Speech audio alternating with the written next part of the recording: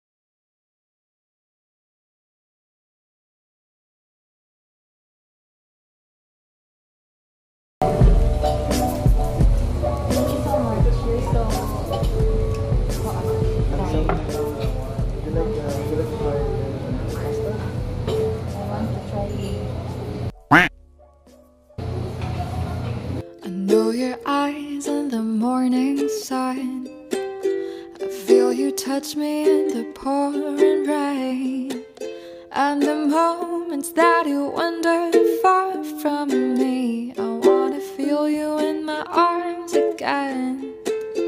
And you come to me on a summer breeze, keep me warm in your love, and then softly leave. And it's me you need to show how deep is your love.